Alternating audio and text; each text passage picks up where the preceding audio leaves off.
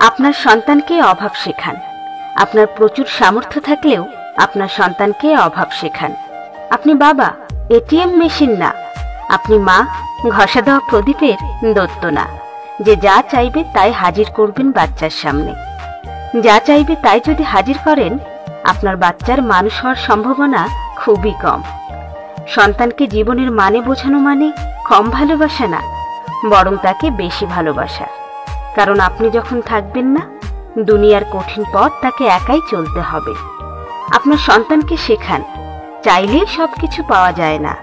সবকিছু পাওয়ার দরকারও নেই। কষ্টের মাধ্যমে অর্জিত জিনিসের মূল্য বোঝান। তাকে বোঝান, সবকিছু ছাড়াও জীবন চলে। দৌড়ায়, ওড়ে। উদাহরণস্বরূপ, তাকে অনুপম রায়ের গান শোনায় সব পেলে নষ্ট জীবন। অভাবকে ভালোবাসতে হয়। তাতে অজ্ঞাত স্বরে স্বভাবটাও ভালো হয়।